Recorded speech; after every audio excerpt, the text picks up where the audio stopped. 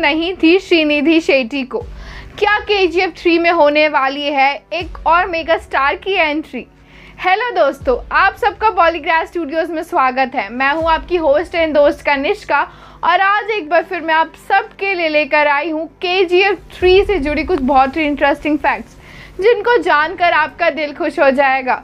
तो बिना किसी देरी के लाइक कीजिए हमारे इस वीडियो को। और उससे भी पहले अगर आप सिनेमा की दुनिया से जुड़ना चाहते हैं और करना चाहते हैं काम तो डिस्क्रिप्शन बॉक्स में दिए गए जॉब लिंक पर क्लिक ज़रूर कीजिए और इस अपॉर्चुनिटी का भरपूर फ़ायदा उठाइए। के फ्रेंचाइज अभी तक की सबसे पावरफुल फ्रेंचाइज बन चुकी है और रॉकी भाई का फ़ैन तो बच्चा बच्चा है और इसका रीज़न हम सभी अच्छी तरीके से जानते हैं। इस फ़िल्म का हीरो तो औसम था ही, लेकिन इस फ़िल्म की हीरोइन भी किसी से कम नहीं थी। जी हाँ इस फ़िल्म की हीरोइन थी श्रीनिधि शेट्टी। और इनके रोल को भी लोगों ने अपना खूब सारा प्यार और सपोर्ट भी दिया है।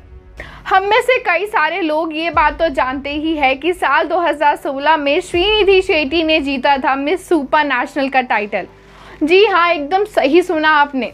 और इसी टाइटल की वजह से इनकी एंट्री हो पाई के फ्रेंचाइज में।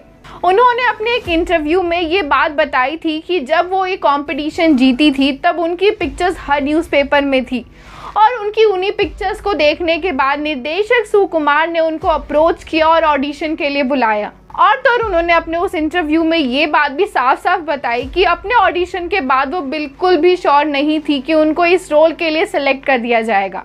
लेकिन निर्देशक को उनका ऑडिशन काफ़ी ज़्यादा पसंद आया और हो गई उनकी के फ्रेंचाइज में एंट्री अब ये बात तो हम सभी जानते हैं कि श्रीनिधि शेट्टी एक बात से काफ़ी ज़्यादा खुश होंगी के के हिट होने के बाद, कि उनकी पहली डेब्यू फ़िल्म ही हो गई पूरे इंटरनेशनल लेवल पे हिट पर एक बहुत ही बड़ा सवाल, क्या के जी एफ़ थ्री में देखने को मिलेगा श्रीनिधि शेट्टी का कैमियो क्योंकि के जी एफ़ टू में तो ये दिखा दिया गया कि श्रीनिधि शेट्टी की मौत हो गई है। लेकिन हो सकता है कि निर्देशक अपने फैंस की इच्छा पूरी करने के लिए श्रीनिधि शेट्टी का कैमियो रोल प्लान करे के जी एफ़ थ्री में। अब हम सब ये बात तो जानते ही है कि सोशल मीडिया पे तो कुछ भी वायरल हो जाता है। वैसा ही एक वीडियो वायरल हुआ जिसमें दिखाया गया कि प्रभास की एंट्री हो चुकी है के जी एफ़ थ्री में। और वो के जी एफ़ थ्री में बचाने वाले हैं रॉकी भाई को।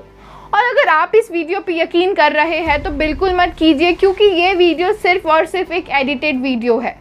अब के जी एफ़ थ्री में प्रभास की एंट्री को लेकर तो वैसे कोई ऑफिशियल कंफर्मेशन ना ही मेकर्स की तरफ़ से आई है, ना ही निर्देशक और ना ही एक्टर के खुद की तरफ़ से। तो ये बात तो अब हंड्रेड परसेंट कन्फर्म है कि ये न्यूज़ फेक है। लेकिन आप खुद ही सोचिए, ये कितना अच्छा होता कि फैंस को एक ही साथ दो मेगा स्टार्स को बड़े पर्दे पे देखने का मौका मिलता। तो दोस्तों, आज के तो हमारे इस वीडियो में बस इतना ही। लेकिन अगर आप ऐसी औसम खबरें पाते रहना चाहते हैं तो सब्सक्राइब कीजिए बॉलीग्रास स्टूडियोज़ को। और साथ ही साथ हमें कमेंट्स में ये तो ज़रूर बताइए कि कितने एक्साइटेड है आप के जी एफ़ थ्री को लेकर। और हाँ जाने से पहले, अगर आपको हमारा वीडियो पसंद आया हो तो एक लाइक तो बनता है। तब तक के लिए बाय बाय दोस्तों।